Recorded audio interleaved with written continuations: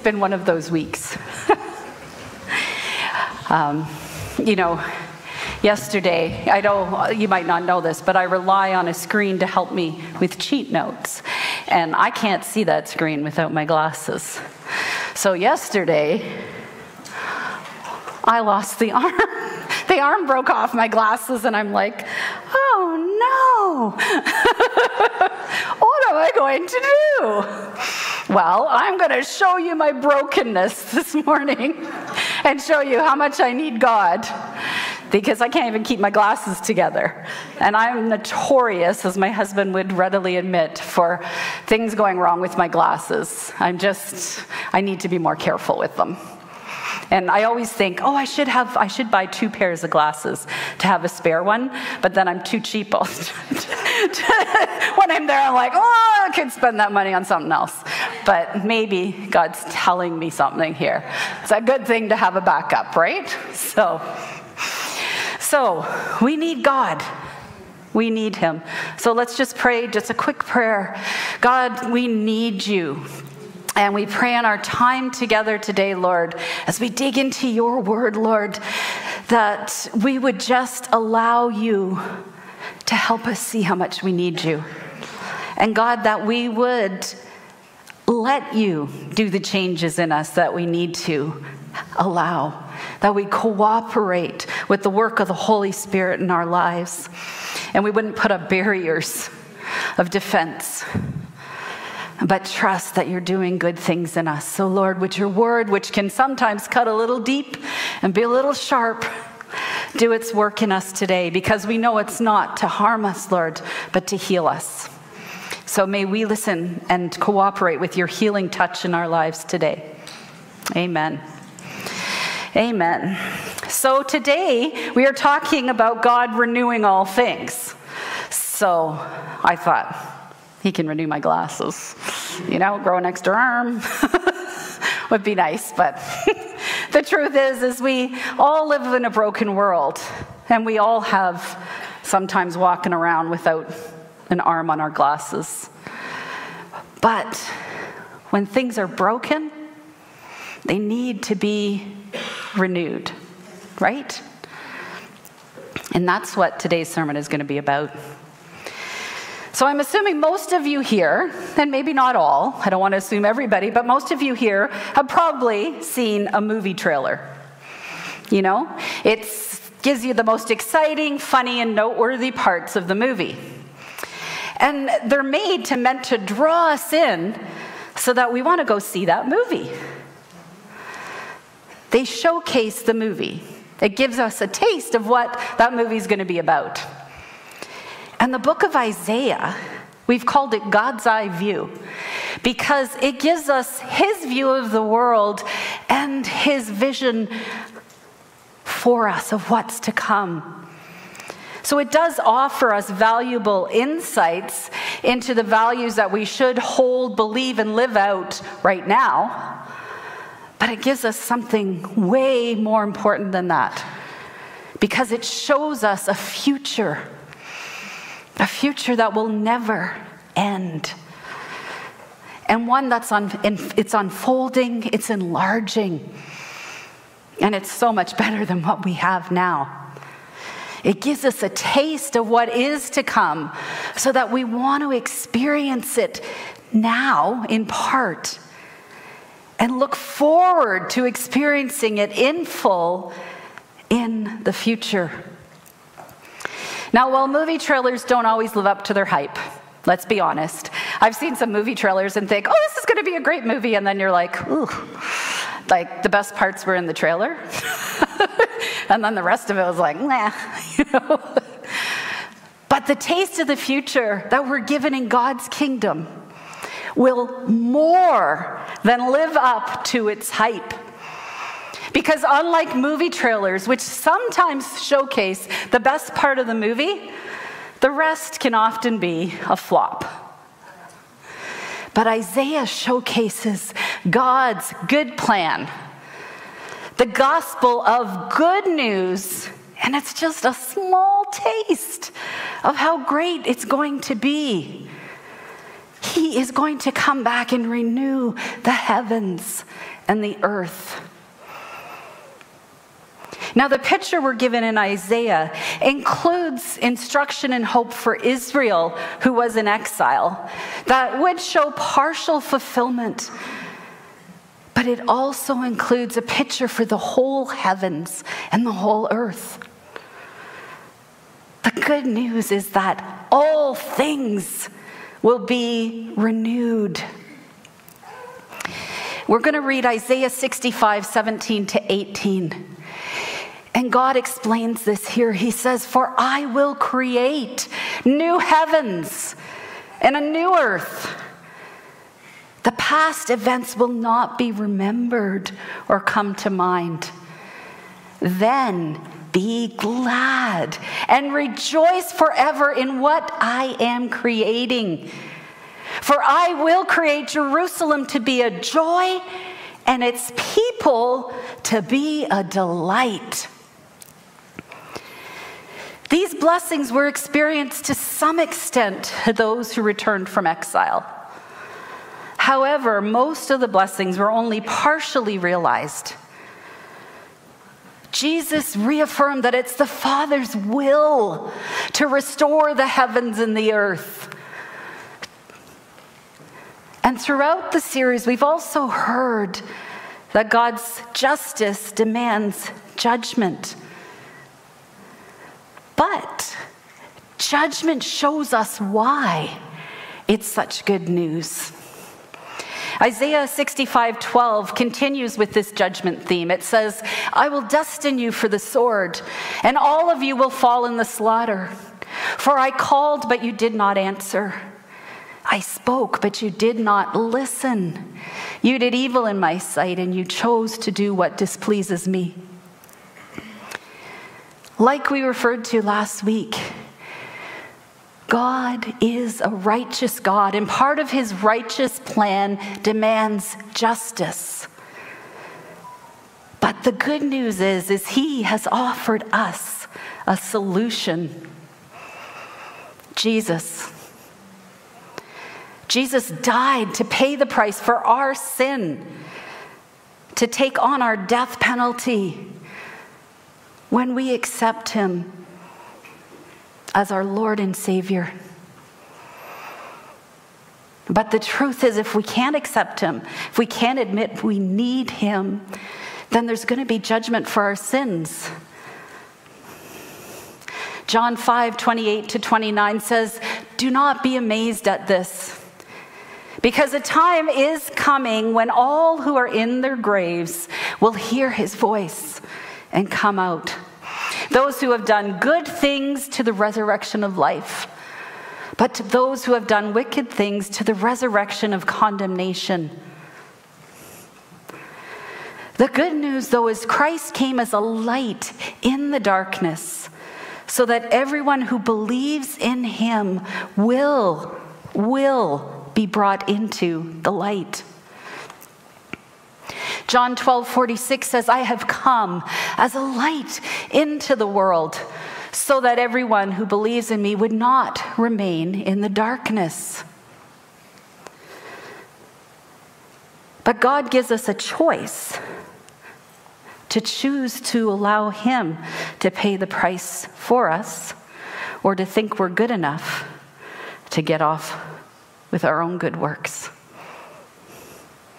And sadly, because of that, some are never going to. The Bible does say there's going to be some who will refuse to be saved because they don't want to admit that they need Jesus. But we have good news. Christ hasn't returned yet because he's giving time, giving time to let God speak to others through us and give them the opportunity to know that there is good news. And we are called to share this good news now, to be a delight to others as God makes all things new. Isaiah 65 17 is the culmination of those plans. A future hope that God's plan is to create a new heaven and a new earth, and the things that cause sin, the things that cause pain and suffering and death will be destroyed once and for all. He gives us these beautiful poetic images that whet our appetite for what is coming. And the implications of this verse are staggering. Such simple words. But when we think about it, the whole created order is going to be renewed. And this passage builds on other passages. You can read Isaiah 11, 1 to 9, or Isaiah 24. As the title of this sermon says, you haven't seen anything yet. The best is truly yet to come. And that's where our hope is. We haven't seen anything yet. That's exciting because not only will the former sorrows be gone, but everything in the old order, which had been dimmed and diminished by the infection of human sin, will be completely renewed. The minds of the renewed, redeemed participants will be so renewed that they'll forget the brokenness of this fallen world. They will enjoy this renewed creation with fresh eyes and renewed minds. And it is going to last forever. Sometimes when we think of eternity, we think of it in terms of today, and some of us are like, oh, I don't know if I want to live forever. Well, of course not. Not in our brokenness. None of us want to. Can you imagine how wrinkled we'd be? But, anyways.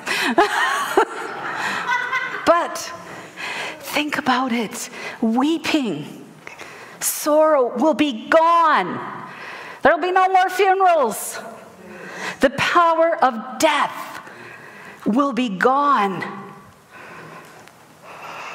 Revelation 21, verses 1 to 5, also paints a beautiful picture and gives us a glimpse into this future.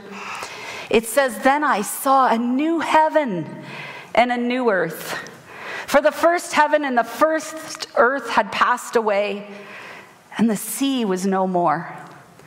And I also saw the holy city, the new Jerusalem, coming down out of heaven from God, prepared like a bride adorned for her husband. And then I heard a loud voice from the throne Look! God's dwelling is with humanity. They will be his peoples, and God himself will be with them and will be their God. God himself will be with us, and he will be our God. He will wipe away every tear from your eyes. Death will be no more. Grief, crying, and pain will be no more because the previous things have passed away. Then the one seated on the throne said, Look, I am making everything new. And he said, Write these words down because they're faithful and true. In the grace and the comfort believers have in and from Christ, we are to look with hope to the new heaven and the new earth. With delight that the former confusions, the sins, the miseries of our human race will no longer be remembered. And it's then that we'll enjoy the fullness of God's benefits. Spiritually and physically, we'll have bodies that won't fade away. And Isaiah 65, verses 17 to 25, is a continual reminder of our heritage in Jesus Christ. Think about it. The brokenness of this world brought on by the fall will be obliterated. Amen. Yes, amen. This is good news. We cheer over our Toronto Maple Leafs, maybe not so much lately, but you know, we could be cheering because this is good news. This is a, God's not going to fail us like our Maple Leafs tend to do. Okay? But the time is coming when there's going to be no more death, no more sorrow, no more pain. Because sin and evil, which have led to this fallen world, is going to be defeated once and for all. And that's the good news that we have. And that's the good news we've been called to bring to others to show them how we are being made new now in part as a foretaste of what this total renewal is going to look like. And it's not told so we can gloat, oh, look at me, I'm a renewed person. It's a gift. It has nothing to do with us. We're all sinners in need of a Savior. But when we see, when we understand, and God opens our eyes, it's not given us to gloat about it, it's given to us to share it with others. We are called to share this good news now. So don't be a show off, be a showcase.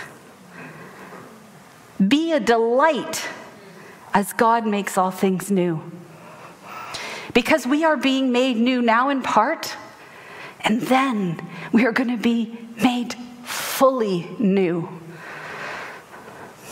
2 Corinthians 5:17 says, "Therefore, if anyone is in Christ, he is a new creation.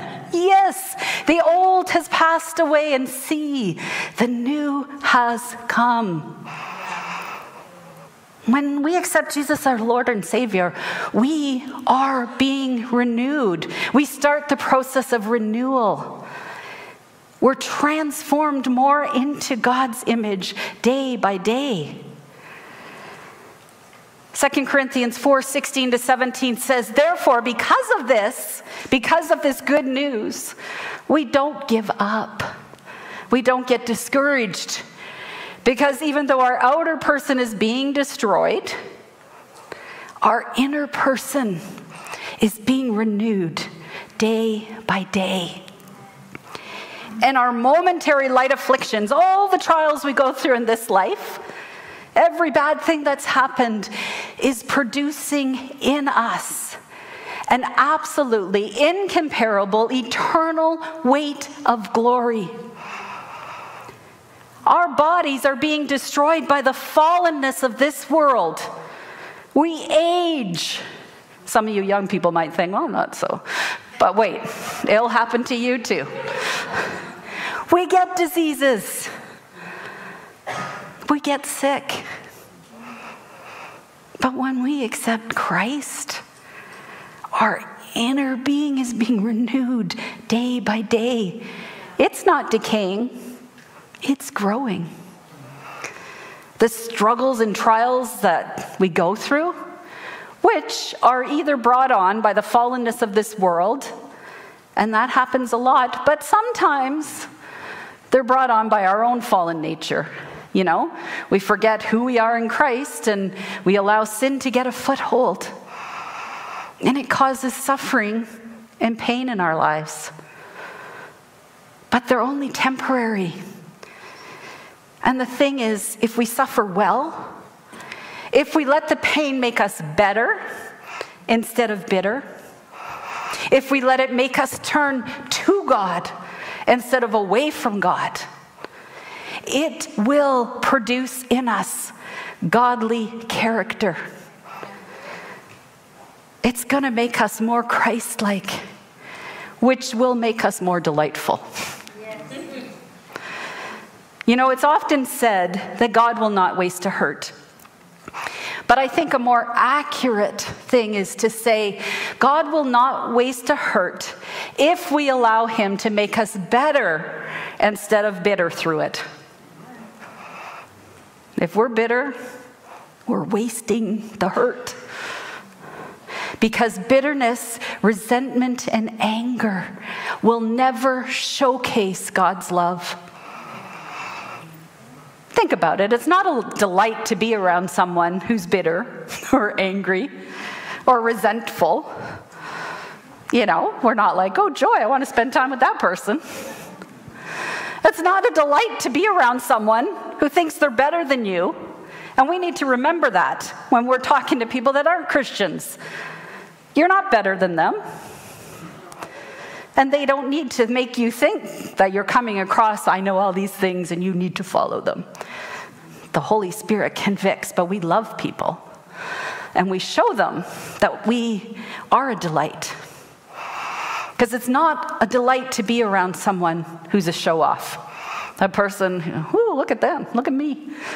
Yeah, right? We are being renewed now as first fruits to show the world what it looks like to be made new in Christ, to let our lights shine so that they see the difference that coming out of the darkness into the light makes. It's like we're mini movie trailers of the total renewal yet to come. So if you think about it this week, how can I be a mini movie trailer? For God. We ask God, and we're given new eyes. Thank you, Lord. If I had new eyes, I wouldn't need these broken glasses, but. And we see things. We realize that the commands He give us, gives us aren't fences to keep us in, they're guardrails to protect us from the harm that happens when we think we need to go over them. It's like we put babies in playpens, right? And we're not doing it to harm them. We're doing it because they're at a certain age, they get into everything, and you need to put them in the playpen so that you can get something done and let them play where you know they're going to be safe. And often our little ones don't enjoy it when we put restrictions on them, right? Just like we don't like it when God tells us we can't do something. My little grandson is a year and a half old, and he has got to the stage where he wants to walk and he doesn't want to hold your hand. But we've told him there's certain situations where he has to hold our hand for his own safety. And occasionally he decides he doesn't want to do that and he reacts by throwing himself on the ground and, well, throwing a tantrum. But sometimes we throw tantrums too. We're eh, like, God, I don't want you to tell me what to do. I want to tell you how it is, and then you can bless me. But as we mature in Christ, as He opens our eyes, we begin to see that He's put them there for our good because He doesn't want us to hurt ourselves and harm our souls. And the more mature we get in Christ, the more we understand that. We understand that God's giving these to us to keep us from getting trapped and imprisoned by sin. So, how do we respond? Once we're given this new perspective, it's not for us to gloat about. Remember, it's to share. But we need to share this through our words and our actions. Isaiah 65, 18, remember it said, Be glad and rejoice forever in what I am creating, for I will create Jerusalem to be a joy and its people to be a delight. How are we to respond to the news of the renewing of the heavens and earth? Well, this verse tells us we are to be glad and rejoice. That's where our joy comes from. And we are to be a delight. We rejoice because death was never God's intention. Romans 6:23 makes it clear that death is a result of sin. We rejoice because the gift of grace that we've been given in Christ's sacrifice means eternal life for us, a renewed eternal life. And we rejoice because Jesus paid the death penalty for us so that we can share in this. John 11, 25 to 26 says, I am the resurrection and the life. The one who believes in me, even if he dies, will live. Everyone who lives and believes in me will never die. Do you believe this? Christ has begun to renew us as he will one day renew the heavens and the earth. Does that make you long for God to create something new in you that will make others long for this creation? We're called first fruits of this new creation. Are you letting God renew you from the inside out so you can showcase the new creation to others? Sanctification, which is a Christian word that some people are like, what's that? The easy thing is, it's just being made new. We're being made new, and it's an ongoing process. We need to actively allow God to renew us day by day, to help us to stop walking as we did when we lived in the flesh, and to walk by the power of the Holy Spirit in step with the Spirit. Being made new is not to show how great we are, but how great our God is. It gives us a testimony of His greatness to share with others and showcase Him. So don't be a show off, be a showcase of God's love. We are to be a delight as God makes all things new. The question is, and it's a hard one are you a delight? Does God's love shine through you to others? Do your words speak life or death to people? These are hard questions. When was the last time you encouraged or complimented someone? Or do you always grumble and complain or point out the negative and say, that's just the way I am? Mm-mm. That's the way you were. You're being made new, and there's no room for grumps. So we need to get rid of that grumpy attitude. Are you looking for ways to lift other people up or to pull them down? Because the truth is, in God's kingdom, we never lift ourselves up by pulling others down. Are we looking to praise others or are we looking for praise from others? When we don't understand that we can love others from being fully loved by God, we look for affirmation in them and we want their praise. But when we're living from loved, we can be an outflow of praise that spreads to others. Ask yourself when people see you, do they walk up to you or do they try and hide from you? If you're always negative, that could be what they do. And don't be afraid to ask people around you if you're a delight. I know, it's like, whew, what am I going to hear? But the truth is, all of us are in the process of being made new. So, all of us have areas where we're just not so delightful. And we're very good at hiding those areas from ourselves and thinking we're fine. But if we really want God to make us more delightful, we value the truth rather than deceiving ourselves.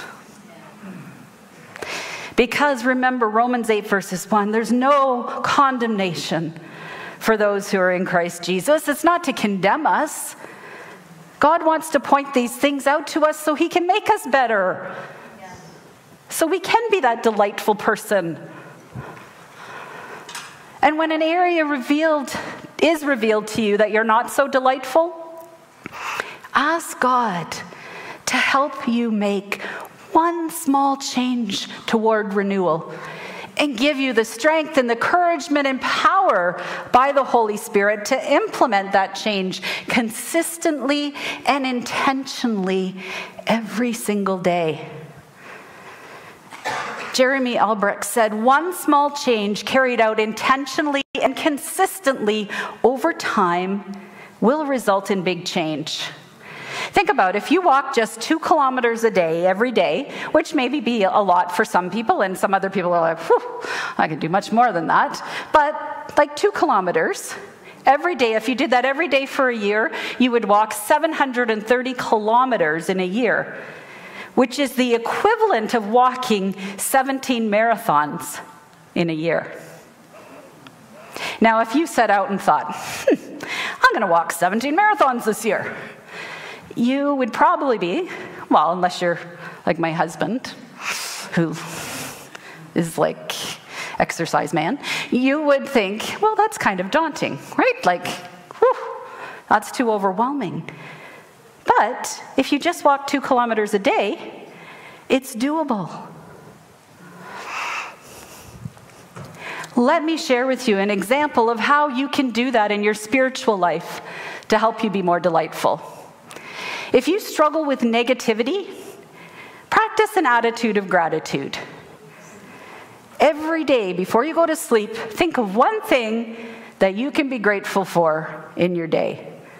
Because most of us remember the one thing that went bad and forget all the 10 thing, good things that happened, right? That's our human nature. But if you do that consistently over the next few months, you're going to find that you become less negative and more grateful. And you start noticing things that you can be grateful about. Because you're allowing God to transform and change your mind as you cooperate with Him. He changes you from the inside out. Or make it a habit of saying something encouraging to someone every day. Think about it. At the end of the year, you will have encouraged 365 people. But not only that, if you speak life into someone else by encouraging them, they're more likely to go and encourage someone else. And it multiplies. That's how we be delightful. And we're going to spend some time thinking about this at the end of the service. But first, where do you start? You know, how do I become a delight?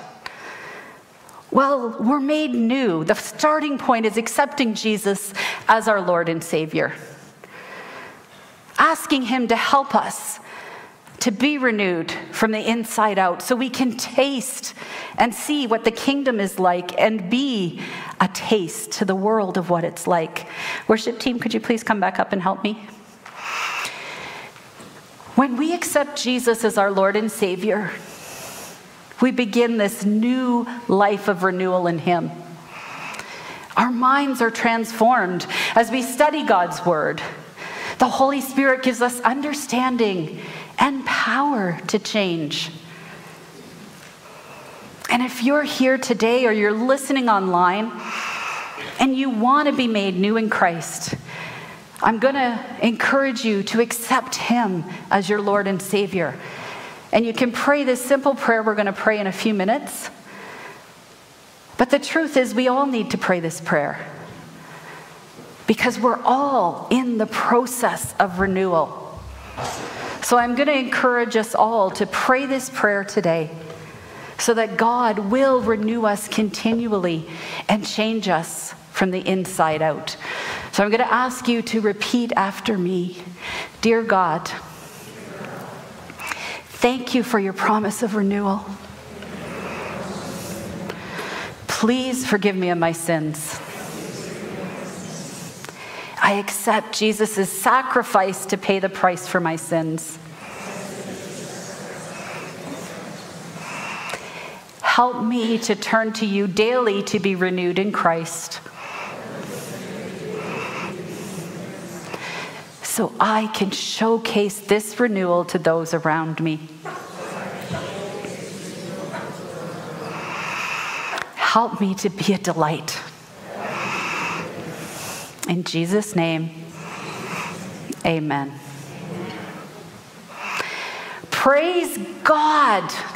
Let's praise God that He has such good news that we can be renewed to showcase Him to the world that full renewal is coming soon.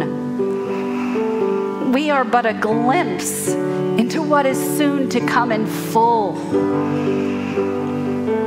but we're a better glimpse, a better mini movie trailer when we are delightful to others. Like a movie trailer, we are given a glimpse of what the movie will be like in Isaiah.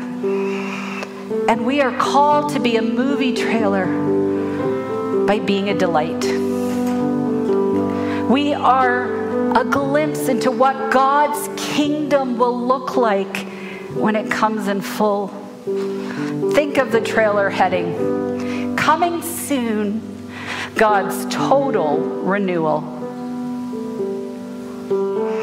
And if you've just started that journey today, if you just accepted Jesus as your Lord and Savior, We'd love you to fill out a Connect card.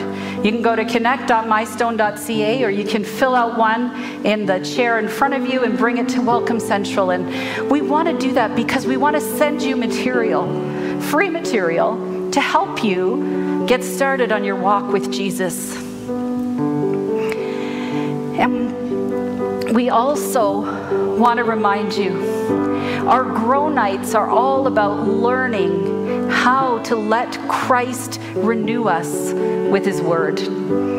We meet Tuesdays here at 7. We start with a meal. But then you're given a choice to go to Alpha, Next Steps, or a discipleship group. And if you're just exploring or new to faith, Alpha is a great first step to take to learn how to showcase this renewed life in Christ to others. Next steps will take you a step further and show you how to let God's word transform you through reading God's word, prayer, and spiritual disciplines so that you can be a delight. And then the Way Discipleship Group shows you how to be renewed so you can actively help others find renewal in Christ as you disciple them. So we encourage you to come. You can check it out at events.mystone.ca, and all the details are there. You can sign up from there, or you can just show up too. The truth is, we haven't seen anything yet.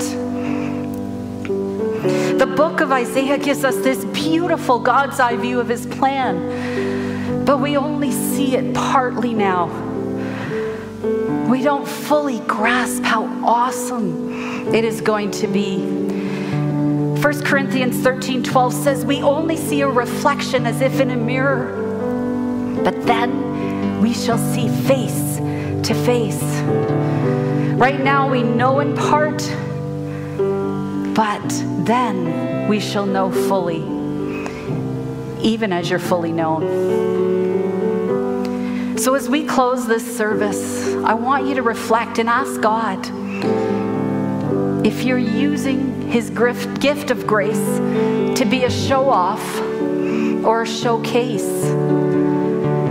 Ask Him to help you to be a delight because He's making all things new, including you. And honestly, ask Him to show you where you are not a delight he can't heal you, and He knows, anyways. He fully knows you. It's not a surprise to Him, like, oh my goodness, you're doing that? No, He knows. So ask Him to help you know. Ask Him to expose any pride, any arrogance, any anger, any bitterness, any tendency to gossip, jealousy, and self pity. These things need to be exposed so God can renew you. Ask Him to show you, Lord, where am I not speaking life into people? Where might I have a critical spirit, Lord? I want to be a delight, right? We want to be a delight. We want to showcase God well. We don't want people to think, oh, I never want to be a Christian. Look at that. That's what a Christian is. Of course not. And sometimes we've done a bad job. But we are new creations in Christ who have been and are in the process of being renewed day by day. And people should see that in us. And it's our job to cooperate with Him, to choose to make one small change today. As you pray, ask God, Lord, help me to commit to make one small change today and help me to carry out consistently and intentionally so that I, in months from now, people will think, oh, look at, they've grown. There's such a delight in that area is what we need. This is a beautiful, beautiful, beautiful promise. It's the best good news ever. Nothing can compare to the good news in Christ. And yet sometimes we act like it's kind of bad news. And sometimes we forget how good it is and we don't let it do the deep work in us that we need to. Lord, God, today, Lord, let us take a stand and let us say, Lord, we want to be a delight. Father, show us the ways that we're not being delightful. And Lord, it's not to shame us because Satan is the enemy and he wants us to be stuck in shame. So we're afraid to bring out and expose the things in us that you want to expose not to hurt us or harm us, but to make us better. To make us lights that don't just shine dimly or we can barely see, Lord, because we're so wrapped up in ourselves and so wrapped up in these things, Lord, that the enemy has sent to take away the power of the church. But Lord, when we all commit to that one thing, that one thing, it doesn't have to be overwhelming. Lord, that we would just all commit to let you change one thing in us this year, that we would consistently and intentionally practice that one thing and allow you to change and transform us from the inside out, Lord, so that a year from now we are a brighter church. Lord, that our individual lights shine brighter. Lord, that our corporate light shines brighter. That we would represent you well. That people would look at us and say, they are a delight and I want to be like that. I want a life that's renewed in Christ that looks like that. Father, help us to get over ourselves and allow you full access to change us so we can be the people that you've called us to be, Lord. In Jesus' name, amen.